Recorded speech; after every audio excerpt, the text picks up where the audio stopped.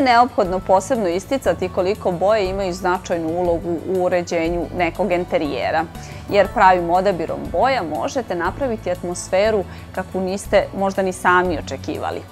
Danas govorimo o tome kako se stvara monohromatska šema boje, jer neki od nas možda obožavaju neku određenu boju pa žele da je iskoriste u svim njenim tonovima. Premalo boje u prostoru izgleda dosadno i jednolično. Previše kolorita i posjetioci će užurbano napuštati prostoriju napadnuti haotičnim šarenilom. Vizualni balans i harmonija jeste ono čemu težimo u kompoziciji kolora. Ali kako ih postići u interijeru? Sva magija dobitne kombinacije kreće od kružne palete sa 12 boja. To su tri osnovne, tri sekundarne i šest tercijarnih boja smještenih u kružnicu određenim redoslijedom. Boje mogu biti tople i hladne, tamne i svijetle.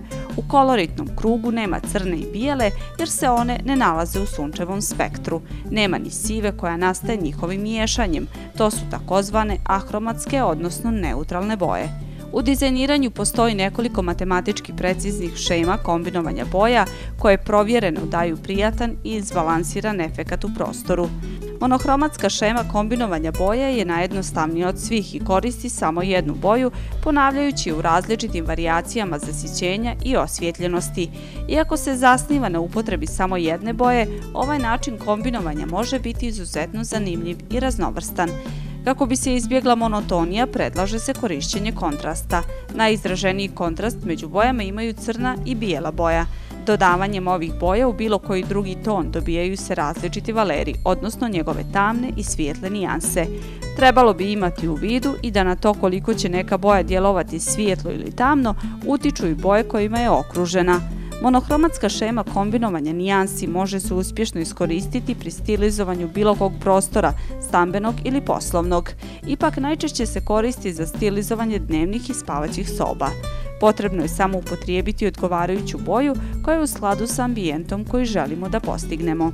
Pri biranju boje imajte na umu i da one imaju ogroman psihofizički uticaj na nas. Tako su tople boje idealne za veće prostorije, sjeverno orijentisane, daju im intimniji i mekši izgled. Hladne boje vizualno šire prostor i izazivaju osjećaj smirenosti. Ako uzmemo zelenu boju, kombinujemo nekoliko njenih svijetlih i tamnih nijansi, dobit ćemo provokativan, a istovremeno relaksirajući ambijent. Jednoličnost možemo izbjeći ako boju nanosimo na zidove različitih tekstura. Tako i monohromatskim principom kombinovanja možemo kreirati snažne i dramatične efekte u prostorijama. Ukoliko vam i dalje kombinovanje boja djeluje komplikovano i ne biste baš da rizikujete sa krajnjim rezultatom, najbolje je da se obratite profesionalcima. Upotrebom kvalitetnih materijala i stručnim izvođenjem radova, bez mnogo stresa možete imati interijer kao da potičete iz dizajnerskog miljeja.